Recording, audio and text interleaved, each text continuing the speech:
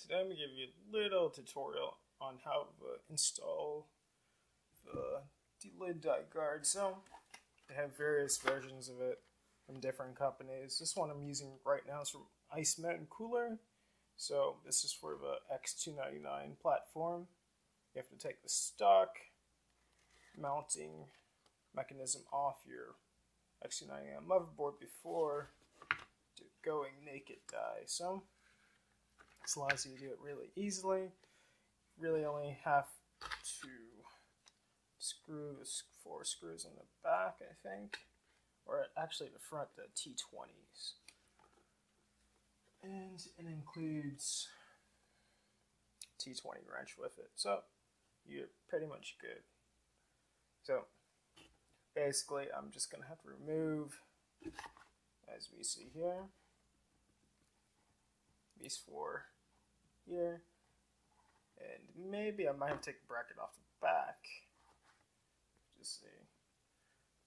Actually, no, I didn't even have to take the bracket off the back. It's actually attached to it on here like that. So it's quite straightforward.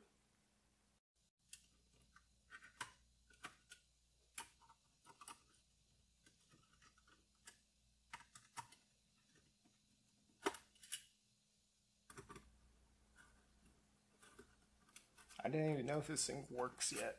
But chances of getting a dead motherboard pretty slim actually compared to other things you face in life.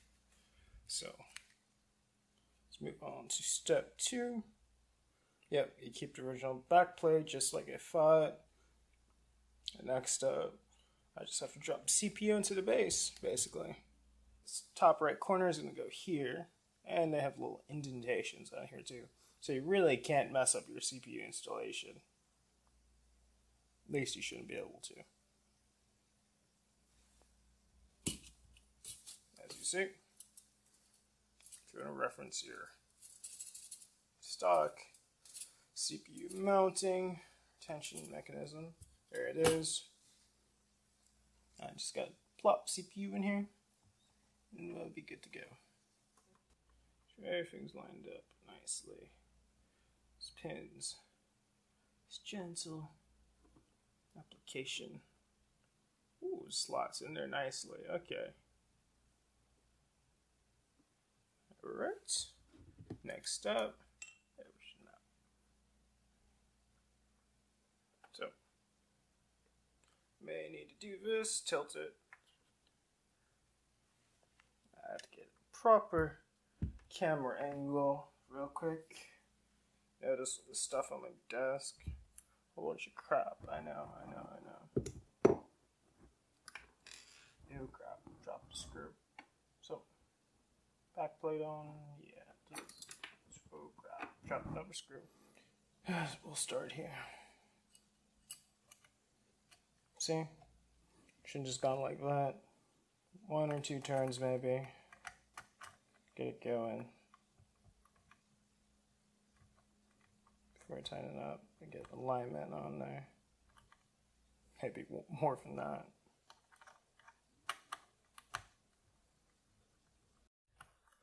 Alright. Should my CPU's in there. That should all be good. You know what I really need is a magnetic screwdriver, but uh, use whatever I can. I usually just end up losing all my tools because I'm disorganized, but it's a problem for another day.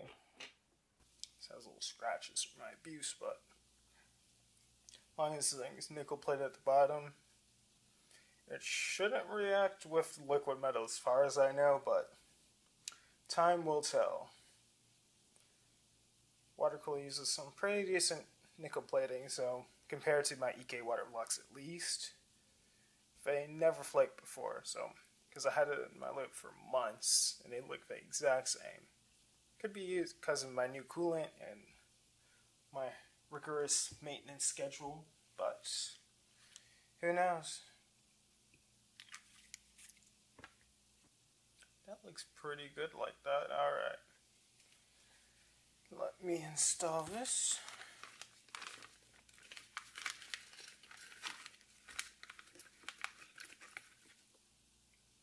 Uh, good old German engineering.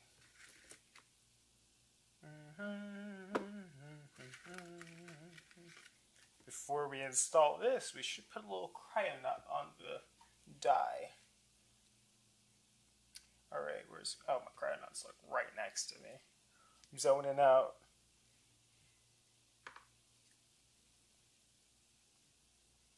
Just one rice grain sized in the middle.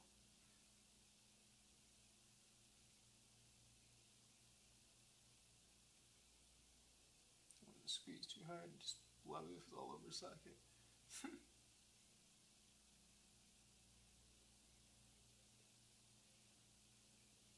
that should be enough. Tightened. Things good. Enough mounting pressure, and you're straight. Sure, contacts the die. You may want to go look on the side and check it if it's contacting it. Everything looks nice and flush. So we're all good here. Believe all EK blocks, most standalone CPU blocks should fit, as long as the mounting mechanism allows it to go low enough to contact the die, so should be good. You wouldn't want to blow up your two grand CPU, but this is a U CPU, but it still cost me like at least 1200 bucks.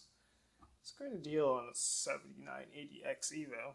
So this works out. Now onto that kit of RAM. Where is that?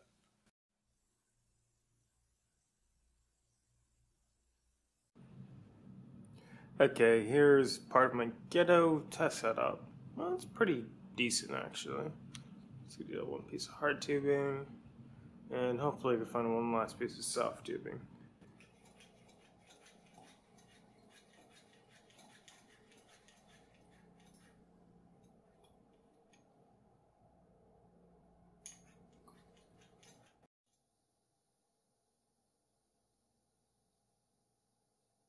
So basically now I'm just filling out my test loop for this to see if everything works out.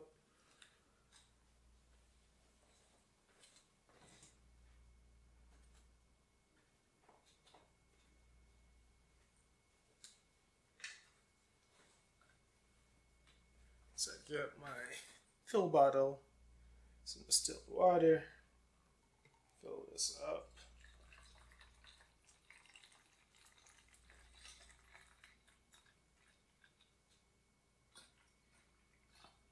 I should be able to fill the thing one go.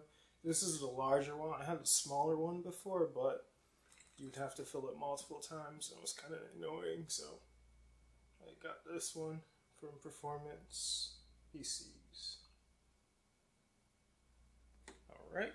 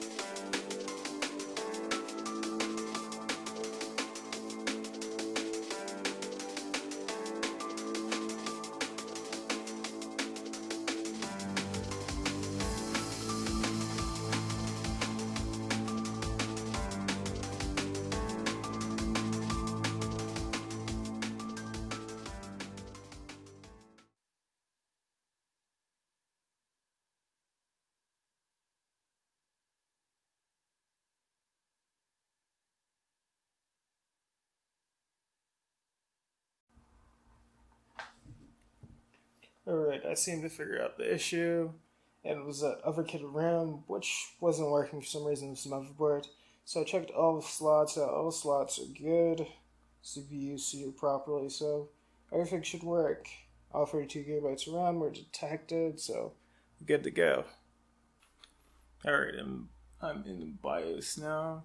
Nothing's really have changed with this BIOS.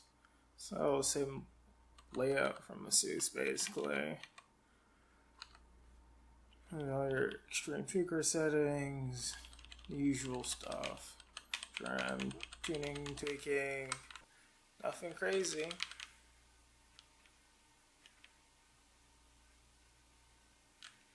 Q-Fan configuration here.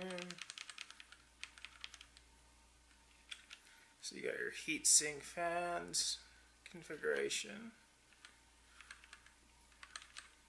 Step down, max duty cycle, all your fan control stuff.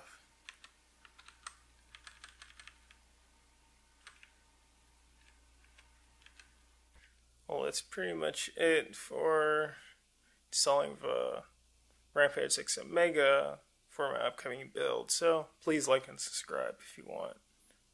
Peace.